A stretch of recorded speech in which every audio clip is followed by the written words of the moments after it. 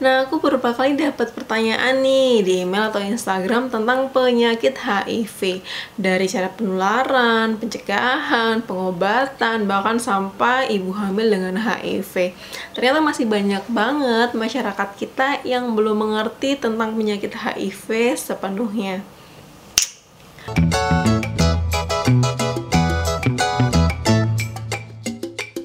Halo semuanya, balik lagi sama aku Emma Pertama kalian harus tahu dulu teman-teman HIV dengan AIDS itu berbeda ya. HIV adalah Human Immunodeficiency Virus. Jadi HIV itu nama virusnya. Di mana virus ini menyerang sistem kekebalan tubuh manusia dan melemahkan kemampuan tubuh untuk melawan infeksi. Jadi kalau misalnya kalian sakit, terus kalian bisa sehat sendiri itu karena kekebalan tubuh kalian. Nah, dengan adanya virus HIV, sistem kekebalan tubuh kalian itu diserang. Jadi kalau misalnya kalian sakit, itu jelas tidak ada yang membantu untuk melawan penyakit-penyakit tersebut. Sedangkan AIDS, AIDS ini adalah nama penyakitnya, teman-teman kondisi di mana kekebalan tubuh kalian sudah diserang sepenuhnya. Intinya orang itu udah nggak punya kekebalan tubuh lagi. Jadi kalau misalnya dia sakit nih, dia nggak bisa sembuh dengan kekebalan tubuhnya sendiri, teman-teman. Wah, temanku tuh ada yang menderita HIV. Apakah harus kalian jauhi? Stop dulu, teman-teman. Stop dulu, teman-teman. HIV itu tidak menular dengan semudah itu jadi virus HIV itu tidak menular melalui udara ataupun droplet seperti virus flu dan batuk maupun TBC. HIV hidup di dalam darah dan cairan tubuh orang-orang yang terinfeksi penyakit HIV. Cairan yang bisa menularkan penyakit HIV itu dari cairan darah, dinding anus, air susu ibu, sperma, dan cairan vagina. Termaksud darah menstruasi kalian. HIV sendiri termasuk jenis virus yang sangat rapuh teman-teman. Dia tidak bisa bertahan lama di luar tubuh manusia karena HIV itu tidak bisa hidup di udara yang kering. Jadi, semakin lama HIV berada di luar tubuh, itu akan semakin cepat virus HIV mati. Oleh karena itu, HIV tidak bisa menular melalui media air, kolam renang, terus air bak mandi, pembuangan, handuk, peralatan makan, dan lain-lain. Namun ada beberapa penelitian yang mengatakan ketika HIV berada di cairan tubuh manusia, misalnya pasien HIV diambil darahnya, terus darahnya dikeringkan di luar, itu virus HIV dapat bertahan hidup antara 1 sampai 2 minggu. Oleh karena itu, HIV dapat ditularkan melalui jarum suntik bekas ataupun alat tato yang terkena darah itu ke dalam tubuh kalian karena dikhawatirkan alat-alat tersebut masih mengandung darah dan virus HIV dari orang lain. Nah, cara penularan HIV yang utama itu adalah jelas melakukan hubungan seks bebas. Seks yang tanpa menggunakan pengaman itu sangat rentan terkena virus HIV. Entah dia mau seks anal, seks oral, seks yang digosokkan terus dia keluar di luar, itu semua tetap memiliki resiko tinggi terjangkit virus HIV.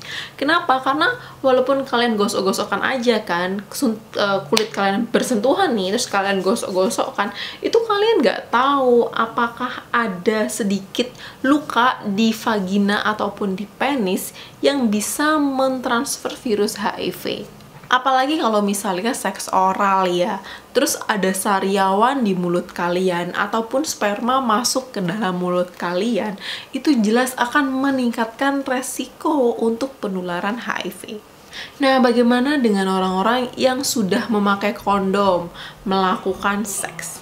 Penelitian mengatakan menggunakan kondom dapat mem memperkecil resiko tertularnya HIV.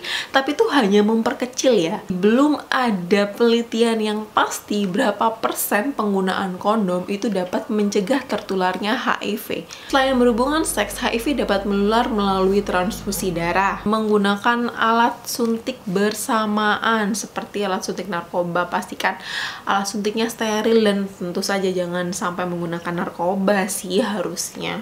Berbagi jarum, baik jarum untuk menindik ataupun mentato tubuh, untuk memakai tato ataupun tindik itu pastikan alatnya benar-benar steril, jangan digunakan berami-rami. Jadi alat dari untuk menato dan mendindik ini sudah dicuci bersih menggunakan klorin, desinfektan, dan benar-benar terbebas dari virus HIV.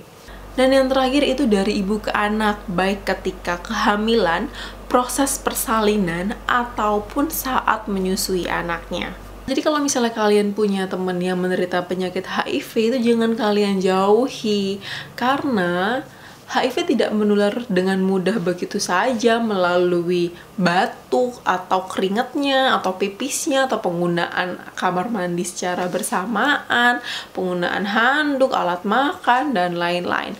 Kecuali nih kalau misalnya kalian sama teman kalian tiba-tiba berantem sampai cakar-cakaran, terus jambak-jambakan berdarah-darah terus kalian menyentuh darahnya dia, itu lain lagi teman-teman. HIV itu terdapat tiga tahap infeksi teman-teman. Pertama kali saat orang terinfeksi virus HIV, misalnya dia habis berhubungan seks sama pekerja seks komersial yang menderita HIV, itu beberapa minggu kemudian menderita penyakit yang gejalanya mirip seperti flu.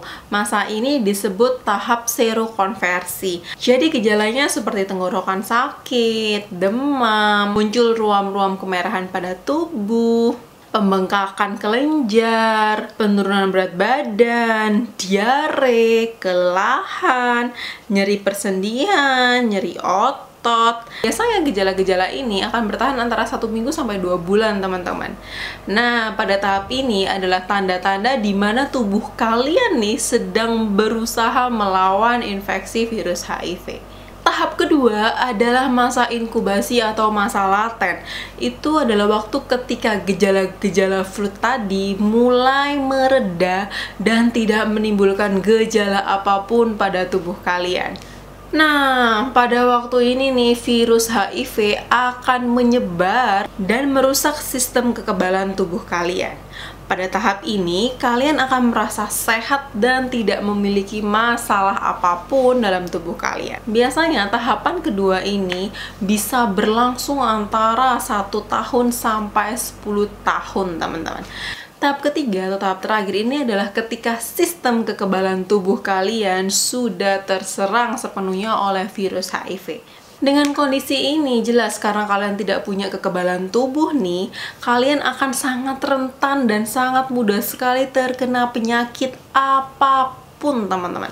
Jadi tanda-tanda yang pertama kalian bisa demam sampai berhari-hari nggak sembuh-sembuh, perut sakit, kelenjar-kelenjar dalam tubuh mulai membesar, terus berkeringat pada malam hari, berat badan turun tanpa diketahui penyebabnya, adanya ruam-ruam yang tidak hilang pada kulit, sesak nafas, diare, sariawan, infeksi saluran kencing, infeksi jamur pada mulut maupun pada alat kelamin, dan segala macam penyakit yang ada di sekitar kalian.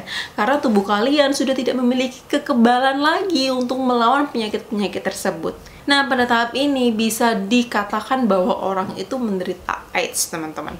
Orang menderita AIDS sendiri itu meninggal bukan karena virus HIV, tapi karena penyakit-penyakit mematikan yang menyerang tubuhnya. Seperti ketika orang AIDS ini terkena virus TBC, dia akan semakin cepat memburuk dengan virus TBC.